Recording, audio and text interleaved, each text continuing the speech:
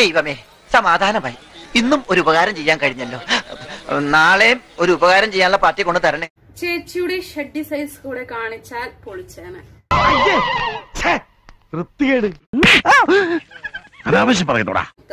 ഊരി കാണിക്കുമെന്ന് പ്രതീക്ഷിച്ച് full video കണ്ടു.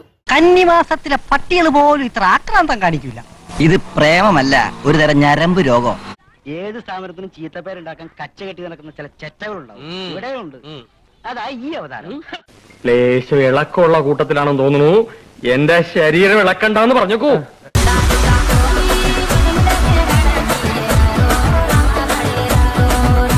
അടുത്തത് ബ്രാ ഊരി കാണിച്ചിരുന്നതിൽ ഇപ്പോൾ ഫൈവ് തൗസൻഡ് അല്ല ഫിഫ്റ്റി തൗസൻഡ് അല്ല ഒരു ലക്ഷം സബ്സ്ക്രൈബേഴ്സ് ആയാൻ പോനെ നിനക്ക് അമ്മയും പെങ്ങളും ഇല്ലേന്ന് ഞാൻ ചോദിക്കില്ല. പക്ഷേ അവരോട് പറഞ്ഞ് ശീലിച്ചതേ നാട്ടിലെ പെണ്ണുങ്ങളോട് പറയരുത്. ചേച്ചി പ്രേമിക്കുന്നുണ്ടോ? ആരുമില്ലെങ്കിൽ ആ സ്ഥാനത്തേക്ക് ഞാൻ വരാമോ? മോനെ. സോറി ഒരു ഗ്യാപ്പ് കണ്ടപ്പോ ഗോൾഡിക്കാൻ നോക്കിയതാ. കോണ്ടം സൈസിനെ പറ്റി വീഡിയോ ചെയ്യോ? മേലാലത്തിലും വൃത്തികേടുകൾ കാണിച്ചാണുണ്ടല്ലോ ഇവനൊക്കെ എന്ത് ചെയ്യണമെന്നറിയാവോ? വെടി വെച്ച് കൊല്ലണം. മാത്തച്ഛൻ എന്ത് പറയുന്നു? അതെ അതാ ചെയ്യണ്ടത്. നീ എന്ത് തള്ളാണടി പുള്ളേ? ഏറെക്കുറെ. ചേച്ചിയെ ദൂരെ നിന്ന് ഞാൻ പ്രണയിച്ചോട്ടെ. ചേച്ചിയുടെ ഷഡ്ഡി സൈസ് കൂടെ കാണിച്ചാൽ പൊളിച്ചേനെ.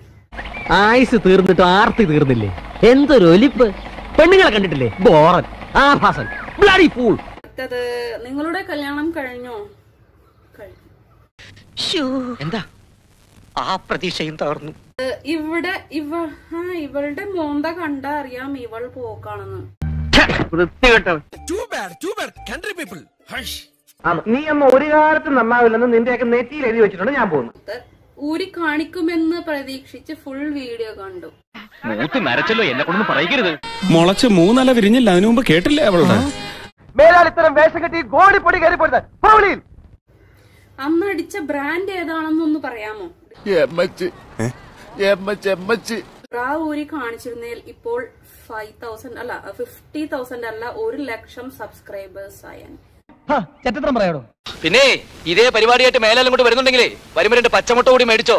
തന്നെ ഇടിക്കാനുള്ള ആരോഗ്യത്തിന് എനിക്ക് വാട്ടി കുടിക്കാനാ ഓടോ.